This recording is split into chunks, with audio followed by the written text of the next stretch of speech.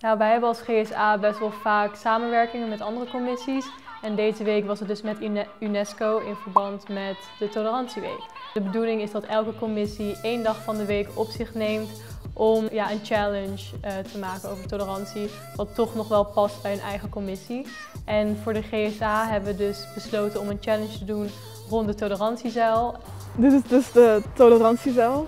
Um, er zitten maar een paar van op de hele wereld. Het is speciaal dat Nederland, Den Haag, deze school een tolerantiezuil heeft. En uh, dat iedereen hand in hand moet staan. Rond de tolerantiezuil, dat verwijst naar wat er was gebeurd in Rotterdam toen een lesbisch stel uh, over straat liep en toen werden ze uitgescholden en uh, nageroepen. En daarna kwamen er dus allerlei mensen die foto's maakten met vreemden of gewoon mensen.